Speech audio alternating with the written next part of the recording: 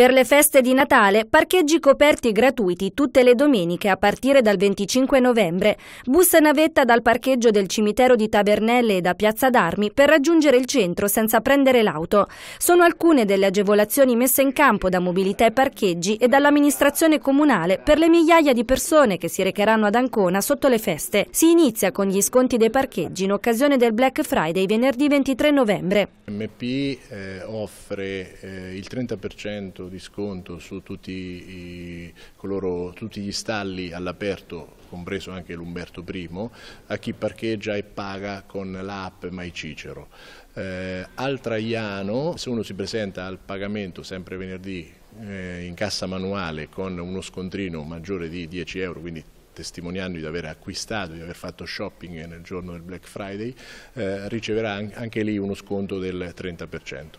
Per Natale, eh, come sempre, abbiamo organizzato dei buoni parcheggio che distribuiranno i commercianti. Tutte le festività eh, dal 24 in poi saranno oh, parcheggi coperti gratuiti. Mettiamo in piedi quindi sia il Cialdini, sia il Traiano, sia eh, l'Umberto I, dal 25 che è domenica, partiranno tutti quanti per, per sette festività consecutive, parcheggi gratis e compresi gli archi dal 2 di dicembre.